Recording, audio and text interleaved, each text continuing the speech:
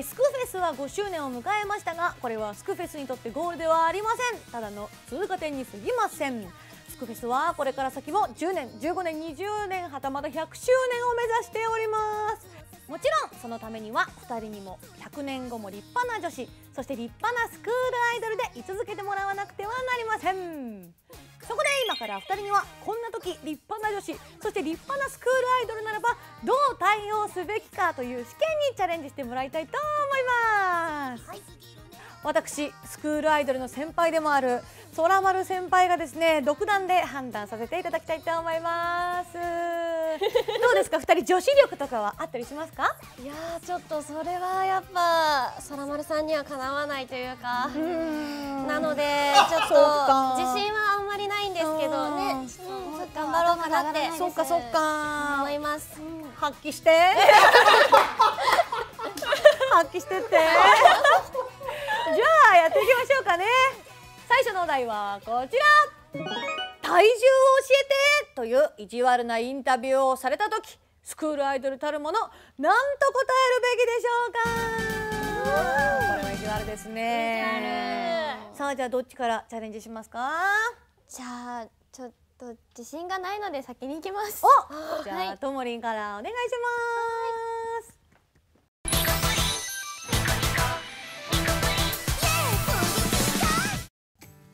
ともりるさん、はい、あの、はい、体重教えてもらっていいですか？え体重、うん、その質問他の女の子にはしちゃダメですよ。私はねさくらんぼ300個分。さくらんぼ300個分、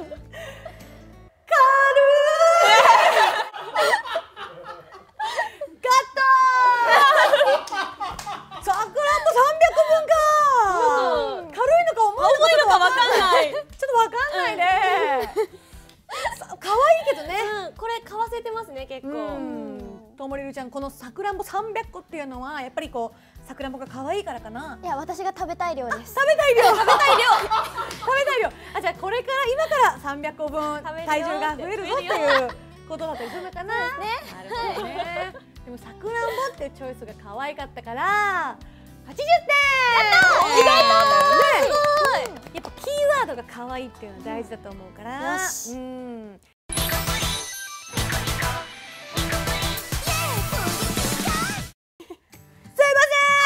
はいキャさん、はい、体重を教えてもらってもいいですか？えー、ちょっとそれは恥ずかしいんですけど、うん、あなたがひょいって持ち上げられるくらいかな？何？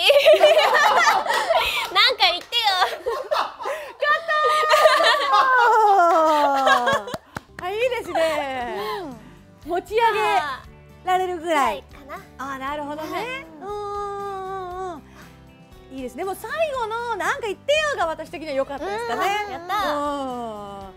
それを加味すると85点。あやったちょっとなんか言ってよがちょっとなんかね。やったよかったよかったですけどね。うん。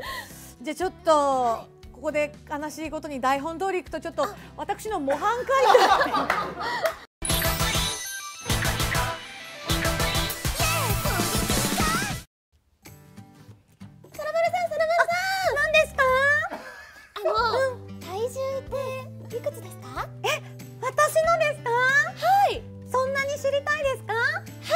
じゃあちょっと持ってみます？かわいい。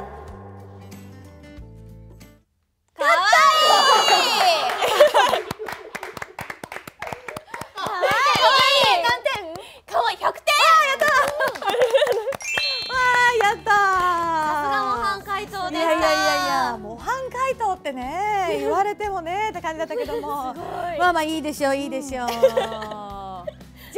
あ次のお題に行きたいと思います、はい、次のお題はこちら。女の子から可愛いと言ってもらった時スクールアイドルはどうするべき？これはね実際にもあるかもしれないんですけども女の子から可愛いですねって言われたらどうするかです。さあじゃあこれはどっちからいきますか？じゃあさっきは2番目だったんで、私が最初に行きます。はいキャンから。はい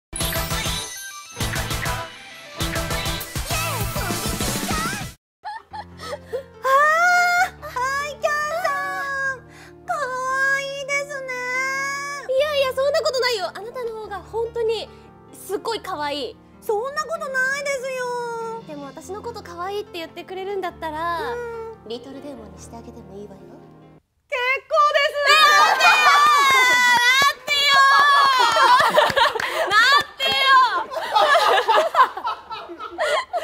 あーなるほどね。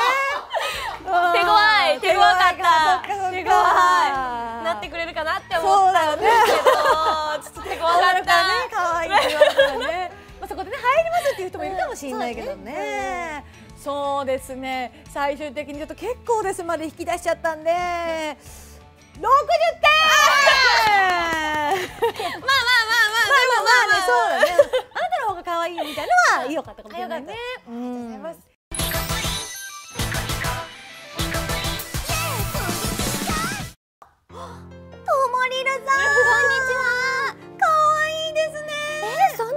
ないですよ。あなたのが可愛いですよ。一緒にスクールアイドルやりたいぐらい。やりませんか？おーやります。あよしよしあすごい。素敵ですね。いいですね。よし。女の子やっぱこう可愛いって言われたら嬉しいし、しかもこう一緒にやりましょうっていうのはちょっと前向きな感じがすごくいいですね、よし。そうですね。じゃあ90点すごい。ありがとうございます。ですねじゃあ最後ちょっと。いやいいんですよ。やらなくて全然いいんですよ。今のでもうなんかねお腹いっぱいの感じがだいぶあるんですけど